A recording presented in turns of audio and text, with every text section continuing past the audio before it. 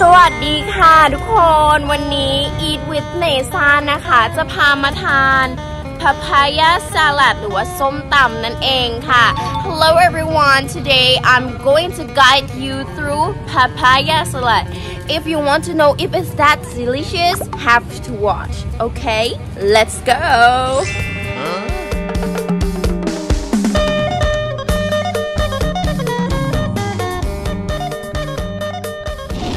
สวัสดีค่ะ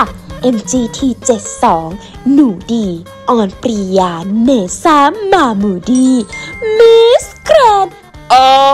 งทองของดีอีสานที่หาทานได้ง่ายทั่วประเทศ ทุกคนรู้ไหมคะ ว่าหนูดีชอบทานอาหารอีสานมาก ไม่ว่าจะเป็นส้มตำลาบ ก้อย และอีกหลากหลายเมนู ไม่ว่าจะเผ็ด ร้อน แซ่บ แค่ไหน หนูดีเอาอยู่ทุกเมนูค่ะเดี๋ยวหนูขอลองตำได้ไหมคะขอบคุณค่ะอะนี่เราชอบเห็นแม่ค้าแม่ขายนะคะเขาตำกันท่านี้เพราะว่ามันจะทำให้มันเข้ากันมากขึ้นใช่ไหมคะหนูชอบกินมากปลาร้าเนี่ย For foreign tourists who is now in Thailand, I suggest you to try Isan food, which is the eastern of Thailand. I promise you, if you have tried Isan food for once, you will never be disappointed.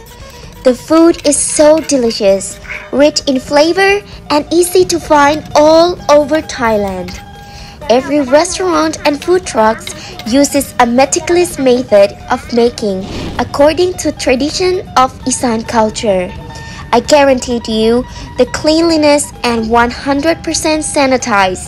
You don't have to be worried. Come and try. Taste the tradition of Isan. อาหารอีสานแต่ละเมนู ล้วนบ่งบอกถึงประเพณี วัฒนธรรม ความเป็นอยู่ของชาวไทยในดินแดนที่ราบสูง ภาคตะวันออกเฉียงเหนือ